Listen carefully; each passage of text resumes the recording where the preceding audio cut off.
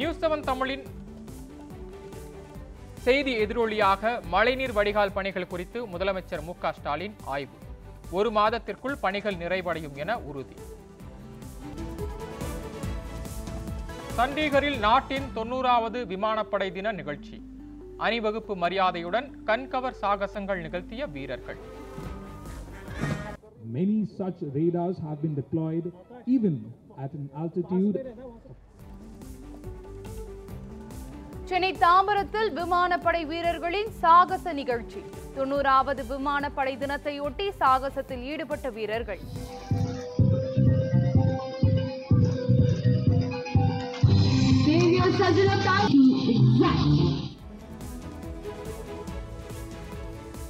கோவை நொய்யல் ஆற்றில் கலக்கும் தொழிற்சாலை கழிவுகளால் விவசாயம் பாதிப்பு.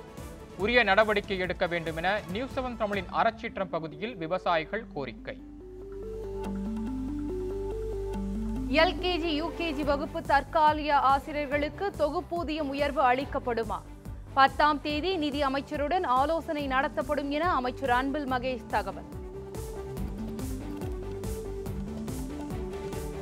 புதிய பொறியியல் கல்லூரிகள் தொடங்குவதற்கான தடை நீட்டிப்பு. அகில இந்திய தொழில்நுட்ப கல்வி கவுன்சில் அறிவிப்பு. மின்னல் ரவுடி வேட்டை ஆபரேஷன் மூலம் இருபத்தி நான்கு மணி நேரத்தில் நூற்றி முப்பத்தி மூன்று ரவுடிகள் கைது. டிஜிபி சைலேந்திர பாபு தகவல். சென்னை இஎஸ்ஐ மருத்துவமனையில் ஃபால்ஸ் சீலிங் இடிந்து விபத்து. நல்வாய்ப்பாக யாருக்கும் காயம் ஏற்படவில்லை என தகவல்.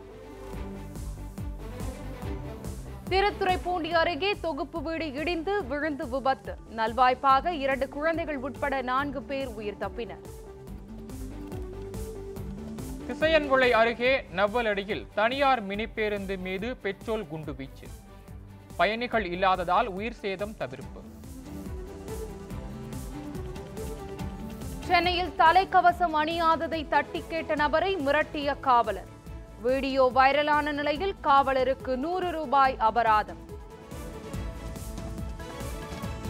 உத்தரப்பிரதேச முன்னாள் முதலமைச்சர் முலாயமின் சிங்கின் உடல்நிலை கவலைக்கிடம். அவசர சிகிச்சை பிரிவில் தொடர்ந்து சிகிச்சை என தகவல்.